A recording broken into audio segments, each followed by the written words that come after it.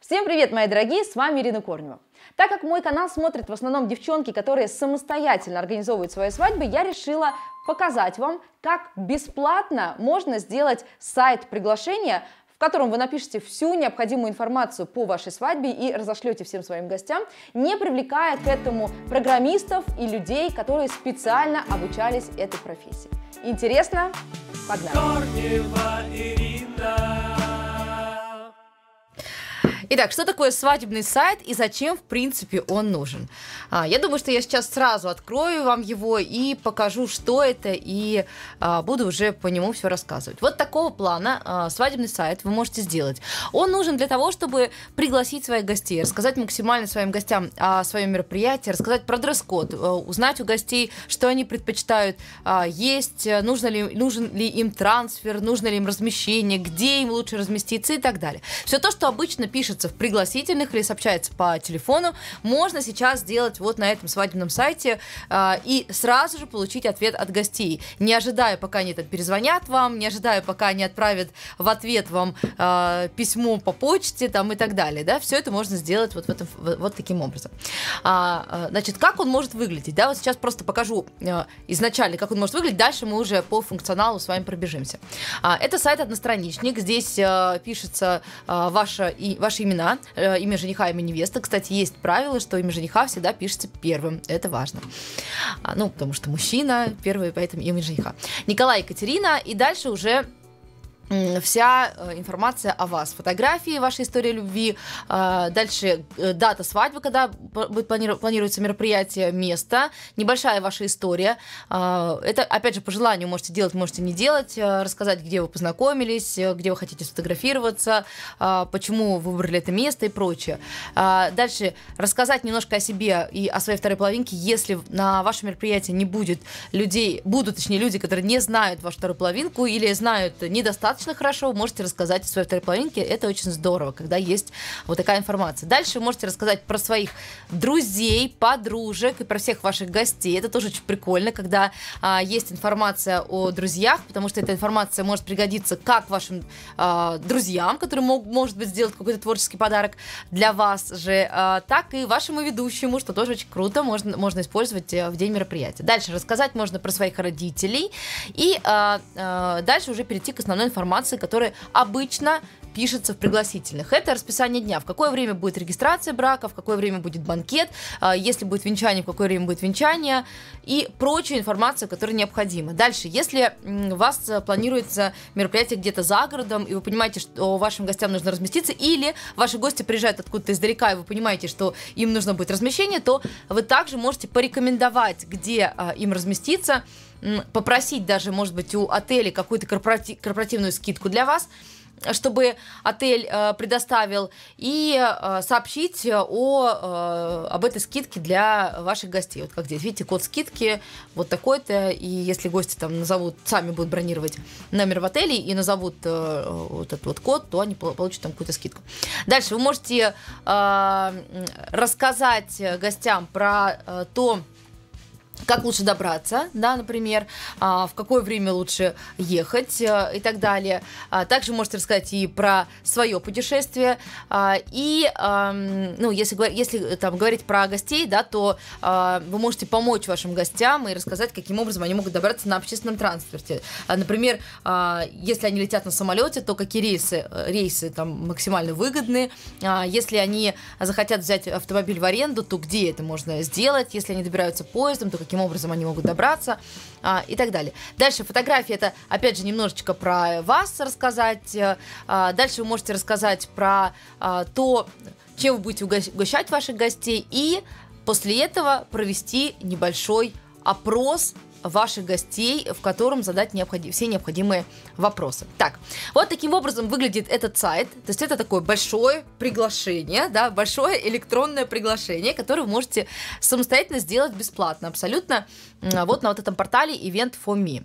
Event for Me.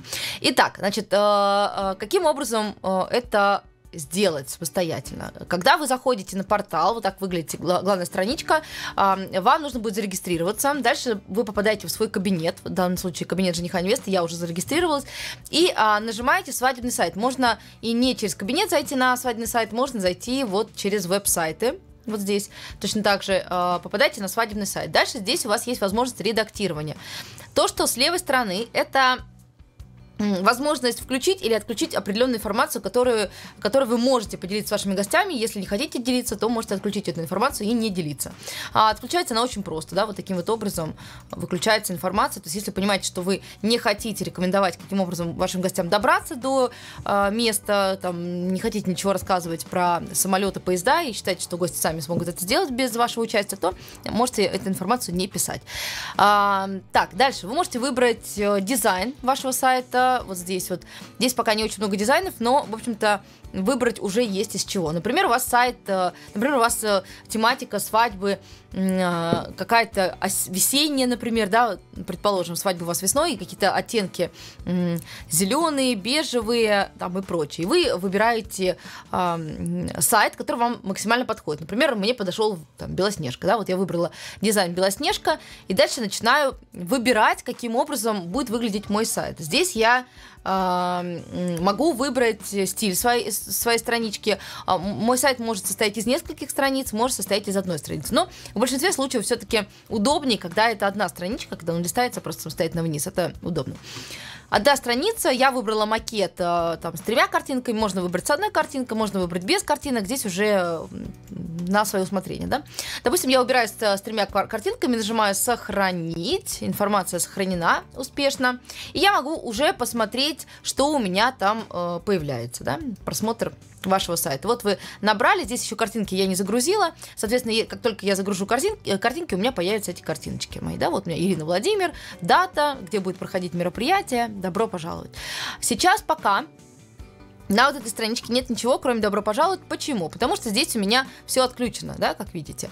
А, как только я начинаю включать, то, естественно, а, информация будет появляться. Для того, чтобы отредактировать информацию на сайте, чтобы у вас а, как раз появилось вот то, что вы видите, да, э, видите там жених, невеста там и так далее, какую-то информацию о себе, а, вам нужно нажать на вот эту кнопочку, она кликабельна, вы нажимаете «Люди», и дальше уже здесь описываете э, информацию о себе, информацию о своей второй половинке и сохраняете. И как только вы сохраняете, я уже это сделала заранее, э, загрузить очень, можно, очень просто, можно понятно, да, что кнопку загрузить нажимаете, выбираете с компьютера фотографию э, и загружаете.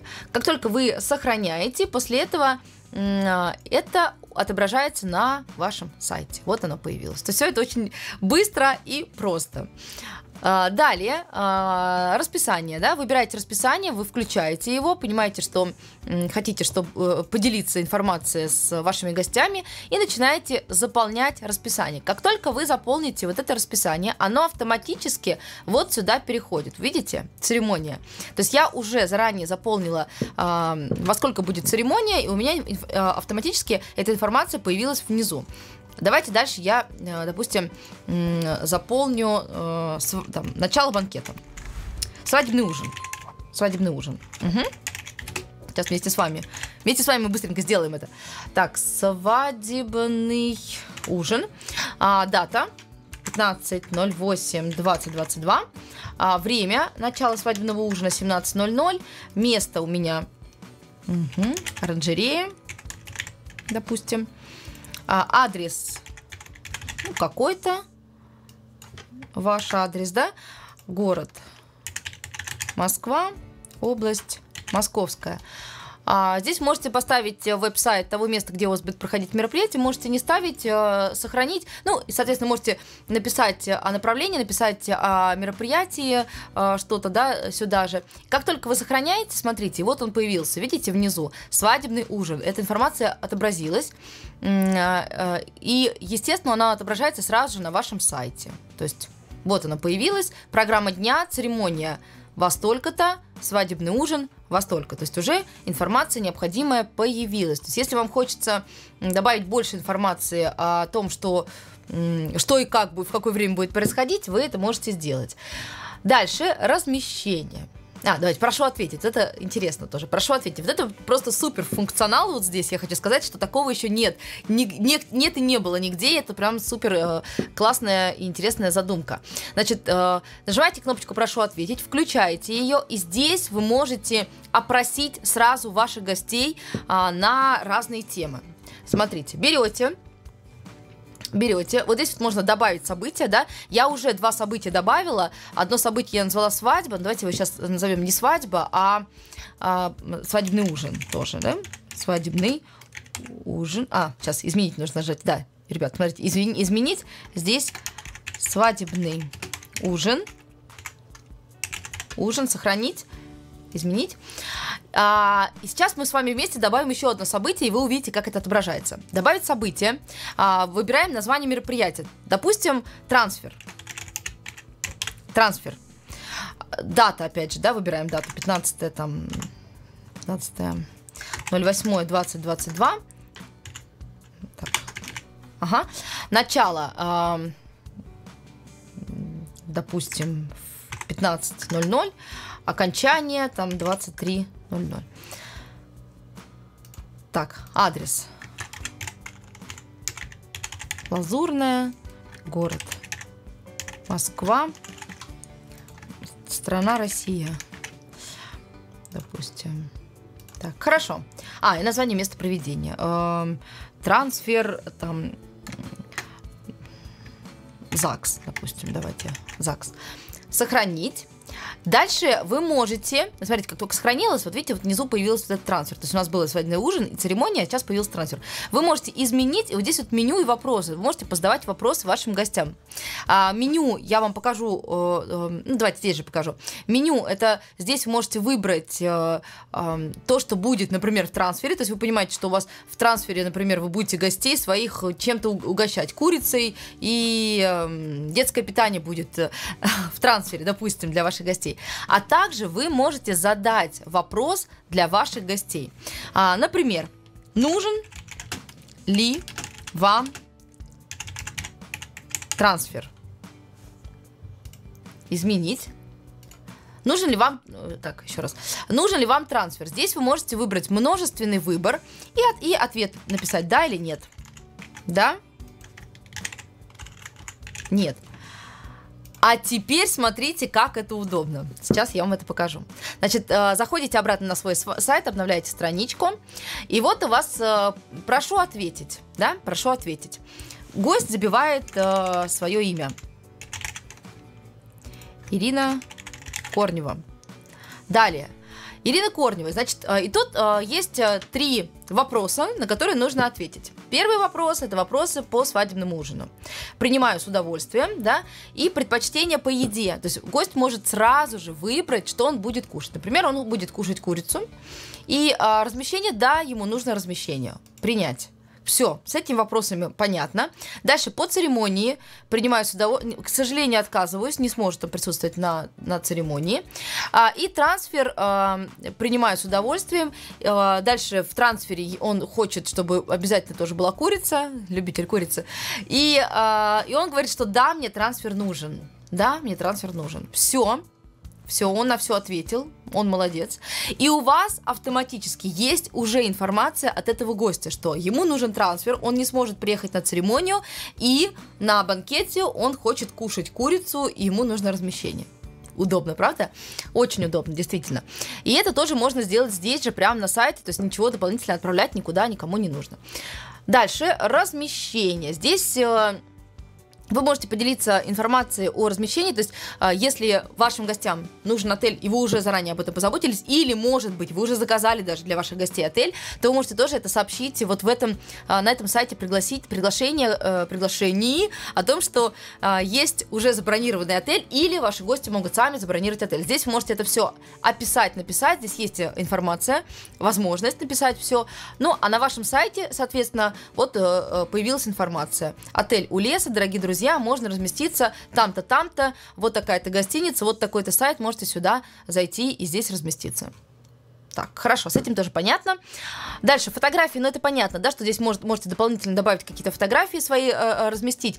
Путешествия, если захотите э, рассказать гостям, как добраться, тоже можете включить. И э, чем заняться, это что есть полезное, интересное на в, то, в том месте, где будет проходить ваше мероприятие. Здесь тоже можете заполнить, загрузить фотографии, а, показать, э, какое, какое интересное расположение, например, у того места, где будет проходить ваше мероприятие. Может быть, там лес, может быть, там красивые пруды какие-то есть, может быть, там еще что-то интересное, там можно покататься на лошадках, например, и так далее. И этим всем вы можете э, поделиться с вашими гостями, ваши гости будут знать о том, что так и так вот у вас э, ваше место выглядит вот так, и заняться там можно можно тем-то, тем-то и тем-то, если они размещаются на вашем э, отеле, например, да, останавливаются на, на несколько дней.